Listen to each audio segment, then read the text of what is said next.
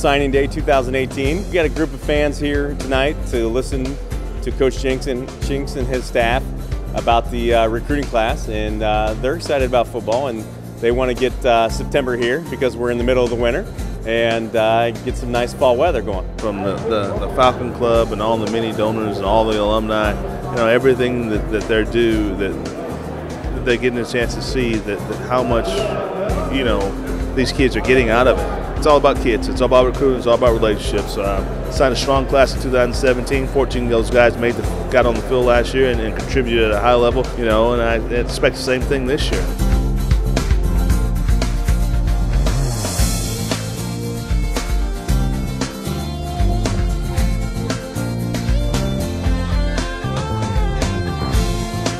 Well, I go back a ways. I had two uncles that played on Bowling Green's first football team, and my dad played with Dwight Perry. So I, have been following Bowling Green football for a long time.